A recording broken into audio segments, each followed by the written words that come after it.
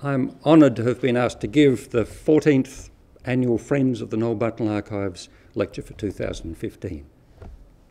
Very sincerely. I would like to thank Pierre for that very generous introduction. I had no idea I had done so much, but it's, I'm sure my grandchildren will be pleased to know. I started my Bachelor of Economics at Monash in 1963. My arrival intersected the publication of Noel's two seminal pioneering works, The Australian Domestic Product, published in 1962, and his Investment in Australian Economic Development, 1861 to 1900, in 1964. Of course, I had no idea at the time how Noel's work and the discipline of economic history he created almost single handedly would shape my professional life. I was one of the lucky ones who found gainful employment in the burgeoning departments of economic history that sprung up in so many universities. I had been fortunate to have been taught and to have worked with a number of Monash staff who had a close connection with Noel. Gus Sinclair, who worked on the early collection foundation of the national income accounts, and John McCarthy and Boris Schedvin, both very much of Noel's era and had worked with his elder brother Sid at the University of Sydney. While I never worked at the ANU, I had met Noel on many occasions. All of us in the field were drawn to Canberra for conferences, for seminars, and, as Pierre suggests, to use the wonderful collection of records at the NBAC. When Maggie invited me to give this lecture, she suggested I should try to be, and I quote, topical and edgy. I shall do my best.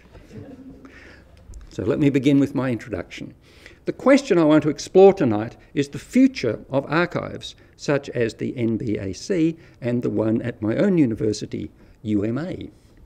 My broad point is that changes in what I describe as the supply of business history and the demand for it by corporates have changed significantly in the past few decades. The most pessimistic interpretation is that the changing practice of economic history within universities and the increasing reluctance of business to permit independent outsiders access to their records bodes ill for specialist archives. That's edgy. Okay? So let me start with a paradox. More and more is being written about business, but the work from whom we might describe as business historians, drawing on archival material, is situated on the margins of this avalanche. What scholars write tends to be read by only other business historians, with some notable exceptions. Telling stories about business that reaches a mass audience is done by others, most notably by journalists and critics of various hues, and this information reaches audiences through a variety of media. Archives holding extensive records relating to individual firms will be less useful to those current and future scholars working in the shifting paradigm of business history. A recent content study of the topics of articles in leading business history journals from the date range 1970 to 2012 okay, this is 42 years, shows that only around 20% of those articles were written about a firm. Moreover, I fear that in the current climate and foreseeable future, it will be harder to persuade companies to donate their records to archives that mandate the independence of the scholars using those records. So my argument progresses in a number of steps. First, I want to discuss changes in what I call the practice of business history that lessen the demand from academic practitioners for access to comprehensive archival material. Second, I want to suggest that firms today are less likely to make over their records for scholarly analysis than they were a generation or so ago. I will conclude by suggesting that the tide may yet turn back to the commissioning of full blown histories faint promise of hope. So let me begin with discussing what I call the practice of business history. The questions raised, the methodologies employed, employed by authors, the types of records used have changed over time in several significant ways. These changes have equally important implications for the fate of specialist archives holding their what I call whole of firm records.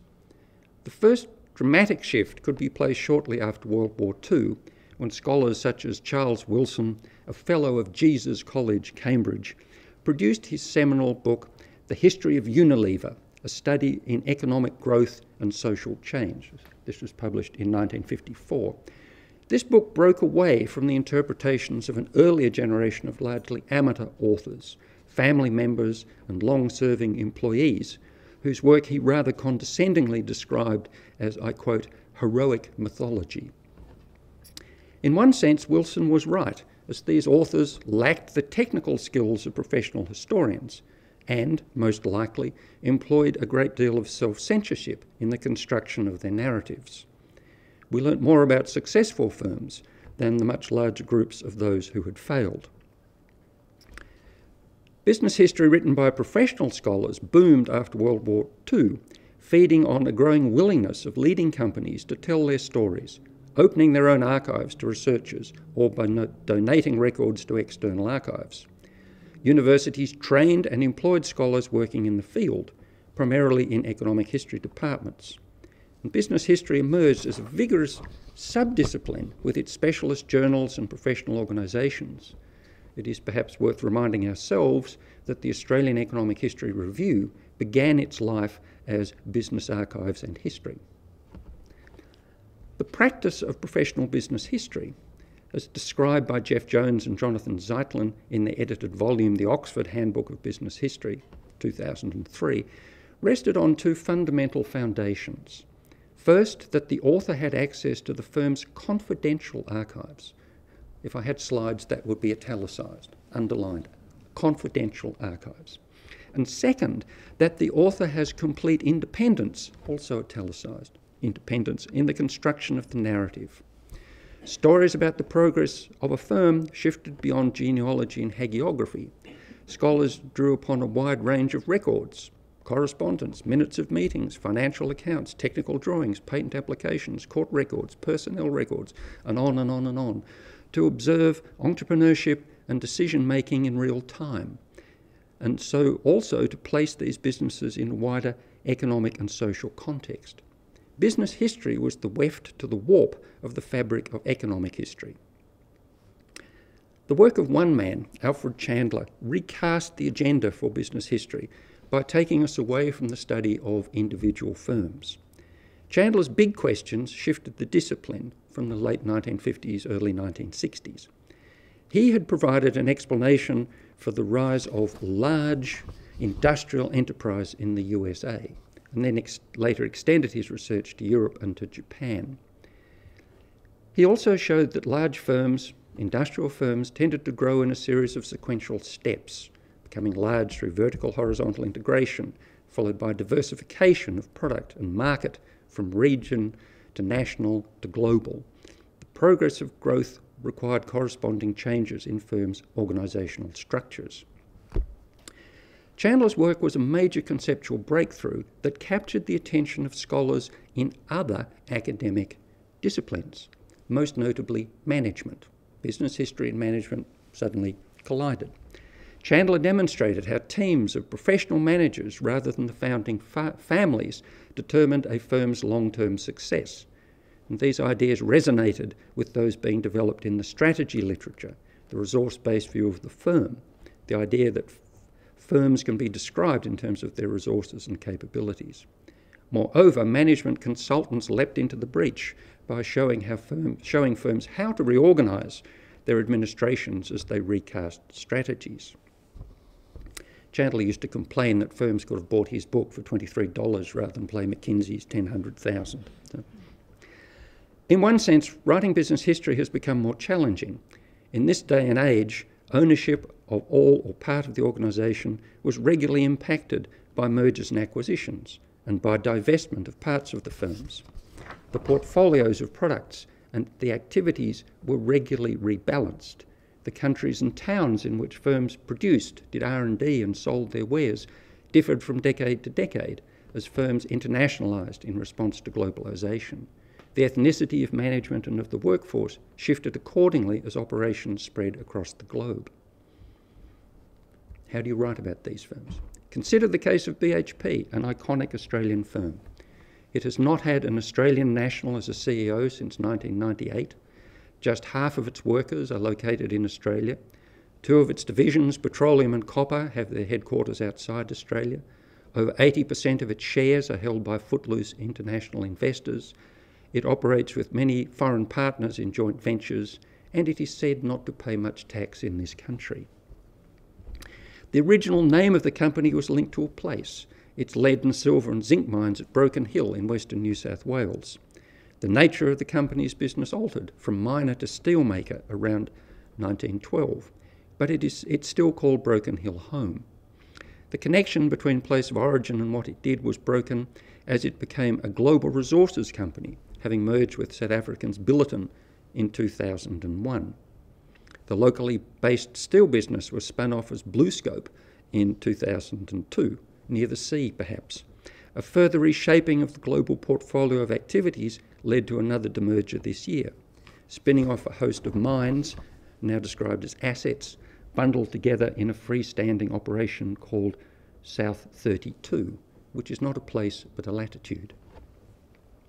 The complexity of large organisations, particularly those operating on a global scale, is making it harder to write the comprehensive history of a firm.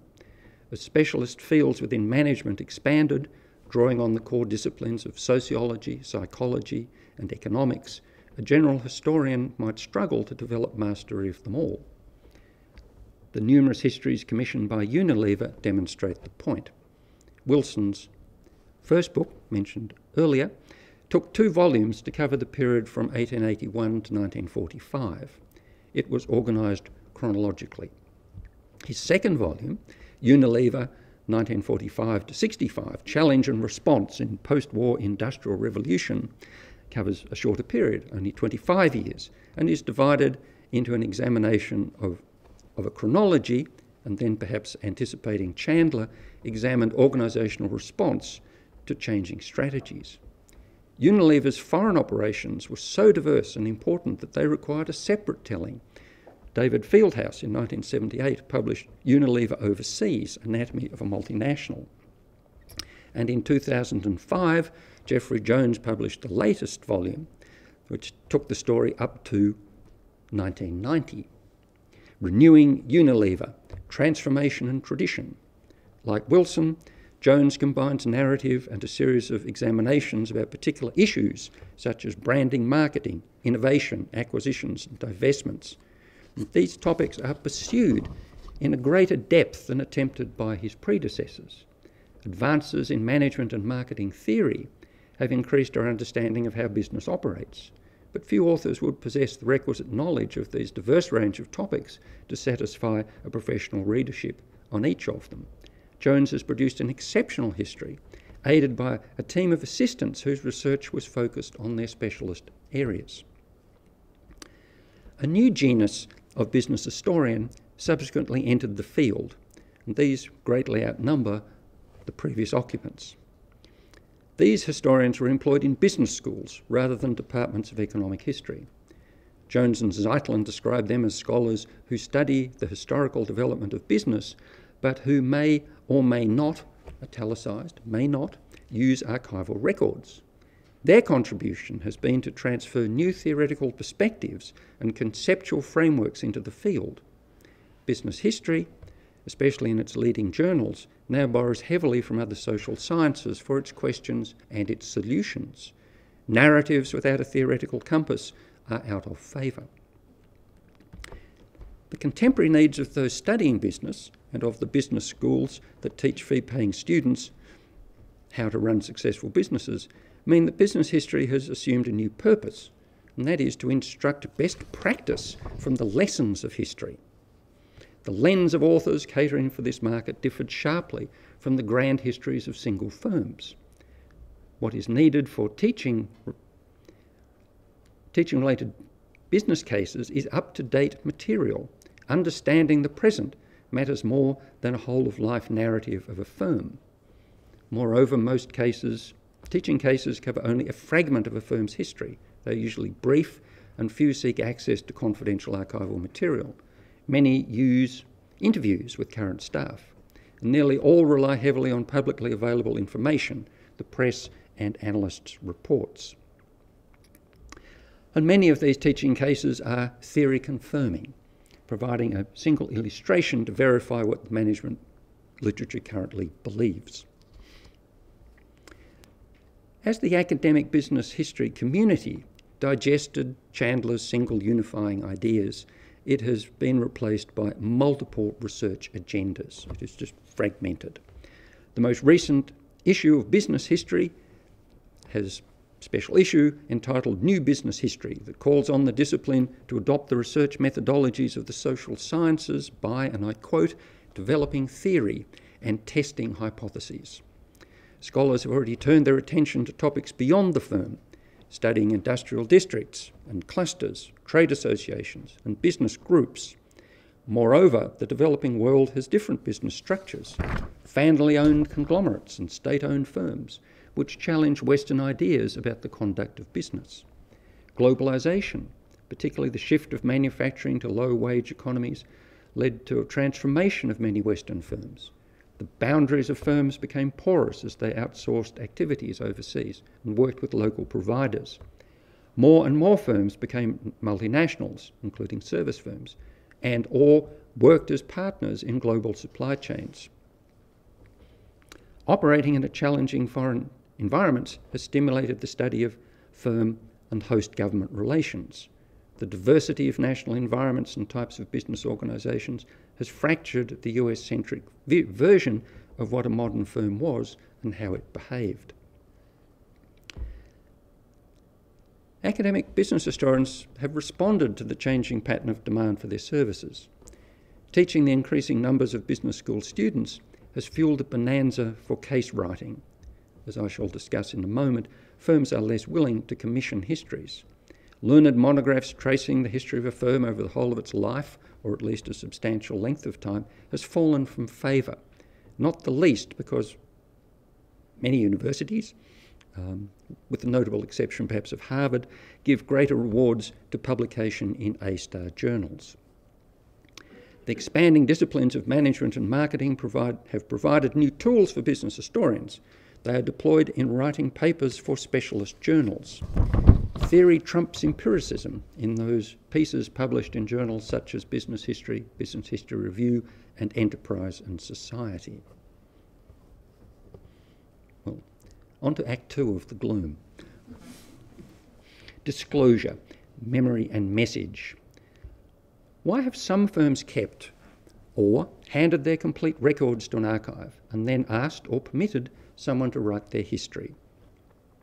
Many of the classic studies in business history were commissioned by firms. Charles, book, Charles Wilson, whose book I referred to earlier, is one of the best examples of this genre. In his preface, Wilson tells us that the directors of Unilever had decided, and I quote, I love these words, that it would be useful to have an objective history showing how their particular business came to be what it is today. He goes on. Besides serving as a reference work for the company itself, such an account, they felt, might contribute to a better understanding of the nature of business in the academic world and elsewhere. Unilever threw open its comprehensive records to an independent scholar, confident that the resulting story would reflect well upon itself. Will today's business historians have the same access and freedom to write about the transformative companies of the 21st century? The Apples, the Googles, the Walmarts, Facebook, and so on. What of Australia's leading companies? As importantly, will those firms keep sufficient records, hard copy and or digital, that will permit an author to unravel or construct the story in any depth? My intuition is that the answer to both those questions is no. Let me argue my case with reference to Australia.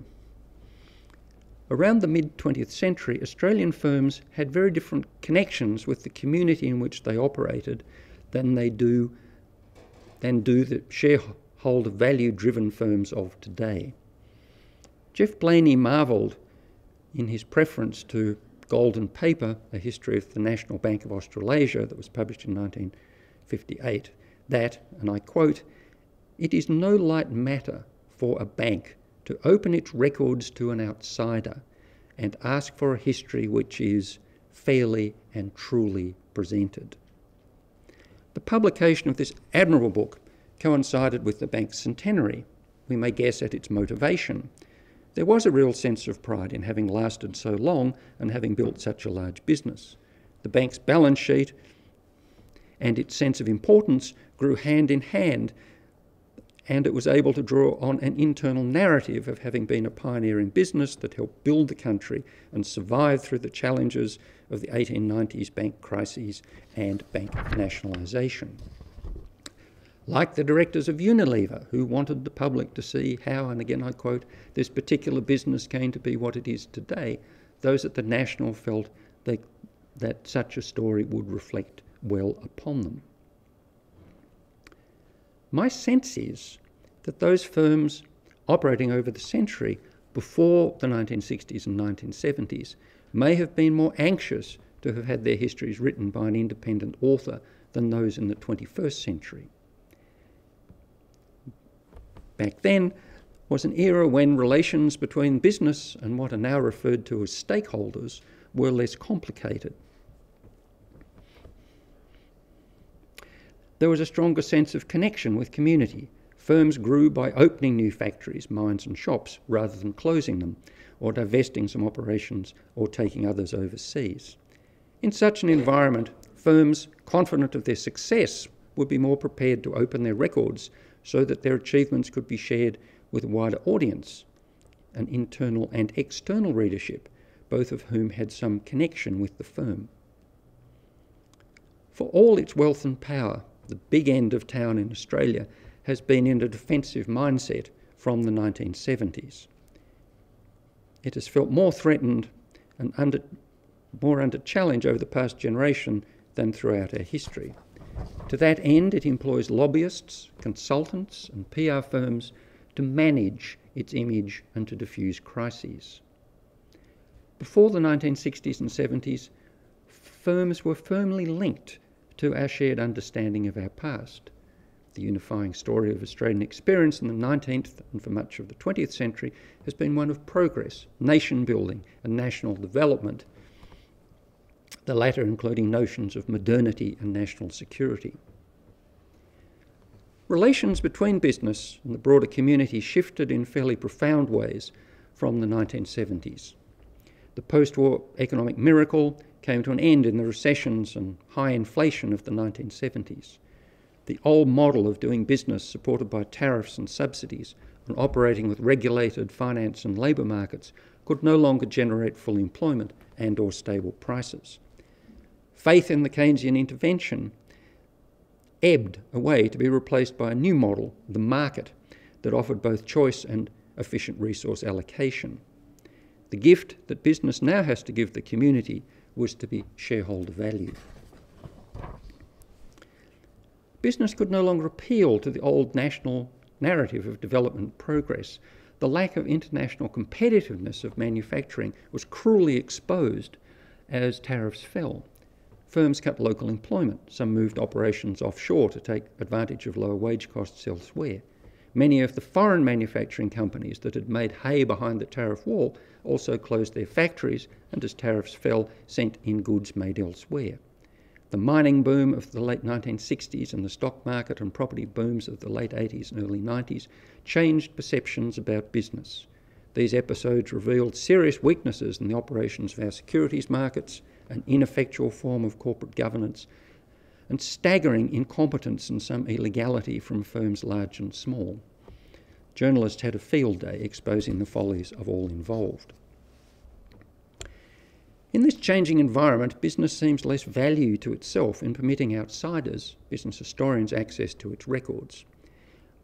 Memory was the overriding impulse of the first wave of commissioned histories, a pride in past achievements, an acknowledgement of the roles of individuals and families in creating firms that serve their communities and a nation, a testament to ethical leadership and kind employers, and the importance of science and technology as handmaidens to a story of progress. Firms currently are more concerned with managing the message. A company history is a matter for the marketing or PR department, for many firms and the consultants which advise them, and in many cases write the volumes, the object of the exercise is image management. I know of books commissioned by two of Australia's largest corporations that have been abandoned in the past few years, one after it had been completed, one before it actually began. Many more companies have decided not to undertake such an exercise, especially if there is a risk that an independent author might uncover a skeleton in the closet. We have the current example of Qantas preventing the publication of Fighting Words by a former employee, Lucinda Holdforth. Firms simply want to manage what the world knows about them. And from personal experience, I can attest the contracts offered to independent authors today are far more restrictive than was the case 30 years ago, which is why I refused to sign mine. The Shareholder Value Corporation is a different animal compared to the National Bank of Australasia in the 1950s. The influence of founding families, with notable exceptions such as the Murdochs, Packers, Pratts, Lowys, is generally less powerful than it used to be. Compared to a generation earlier, today's firms and top management teams have far shorter tenure, tenure than their predecessors. Senior managers may work for many different firms during their careers. Top executives and boards do not have the same emotional connection with the firm as the managers of yesteryear. Memory stretching back into the past matters less to these people. Firms can refuse to commission histories, deny access to their information, and publish carefully managed messages about themselves. However, they cannot stop people writing about them. Bridget Griffen Foley's wonderful book, The House of Packer, The Making of media empire, shows how work of great scholarship can be written without access to the subject's records or access to its people. However, it is unlikely that other authors will have such persistence or be able to find a subject whose activity produced such a rich set of documents from third parties, government inquiries, the courts, trade unions, and so on. Over the past three decades, most should I say most, many at least, of the books published about Australian business have exposed failure and folly, and most have been written by journalists. Books about the near death experience of banks, badly behaved insurance, timber, and asbestos companies, and tales of failed and dishonest entrepreneurs fill the shelves of bookshops. We recognise celebrity business people by their Christian names. We have Twiggy, Kerry, Gina, James, Clive, Nathan, who's losing weight and visibility, uh, from the current crop, and Bondi and Skase from the earlier age of excess. They are subject of best selling biographies. You can choose between the authorised and unauthorised versions. Some business stories have become TV series, and the domestic lives of our billionaires and their warring children are cannon fodder for the pages of daily newspapers and gossipy magazines. James Packer, son of the colourful Kelly, Kerry, Freudian slip, has been filmed fighting one of his friends in a suburban street. The latest round of litigation over inheritances and the exposure of murky deals between politicians and businessmen by ICAC in New South Wales promises a bonanza for what Charles Wilson calls the economic crime club, crime club genre of business history. Okay, conclusion. Let's try and finish on a good note. My gloomy story has important consequences for the managers of specialist archives holding business records. I'm sure that they are well aware of the trends I have described. It is difficult to get firms to donate material and or to permit open access. The preoccupation with image management has reduced the flow of commissioned histories and in some case the independence of those authors. My fear is that firms may be less inclined to invest in preserving and maintaining their own records. There is more interest in the here and now than in the past from an academic audience, the business schools, and, and the wider public. An archive whose records connect to a world of over half a century ago, as does the University of Melbourne archive, may suffer from increasing irrelevancy from those wanting the here and now. I promised you at least a glimmer of hope, and there are refreshments afterwards. Nearly a decade ago, I addressed an audience of those people whose job it was to manage what the public knew about the workings and images of firms. I provided my explanation of why their clients felt so threatened, why these firms had lost faith in the power of memory to deliver a positive message. Business had been increasingly seen as the bad guy from the 1970s onwards. At present, the media is full of reports of self serving financial advisors and supermarket chains misleading suppliers. mistreating, sorry. We might imagine that the firms involved might not want to commission a full blown history. However, firms can be persuaded that telling their story is of greater value than trivialising the message or retreating into silence. The world in which business now operates has been transformed by globalisation, and I'm thinking particularly about Australian business history. There have been winners and losers. Firms have had to adapt to survive, often shedding activities, moving to new locations. It is better for Australia that many firms have survived and indeed prospered than they went to the wall, and the wider public might want to know how that has been achieved. Can business recapture the position it held so, for so long as a valued and trusted partner within the community? That it once did so resulted from its inclusion in powerful stories and myths about national identity. The challenge for business today is to tell a story about what it does that fits into a wider national story. I suggested to my audience of PR gatekeepers that a better way forward would be to use the pioneering metaphor to describe their adaptation to the shock of globalisation, an extension beyond memory to something redolent with meaning. The old powerful story is about taming a continent, a story of going inland. What we need now is a story to make sense of Australia's place in a globalising world, a world of going outwards, a story going out as exporters, partners in supply chains, and as Australian based multinationals. Globalisation poses challenges to business and the community as great as those in the first stage of pioneering. Then we struggled to come to an understanding of a new continent to cope with its distance, heat, and lack of water supply, a story superbly retold in Don Watson's The Bush. Now the challenges come from having to find ways to compete in a wider world, but all the virtues of the old story are required now determination, resilience, ingenuity to make do with little, and optimism that you will eventually succeed.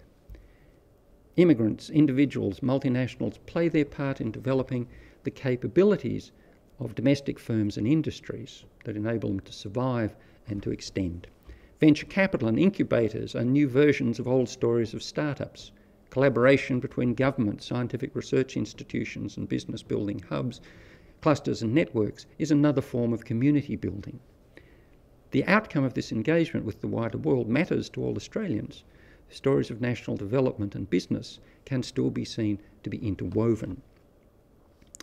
Am I hopelessly optimistic about business changing its mind about the value of business history? Possibly so.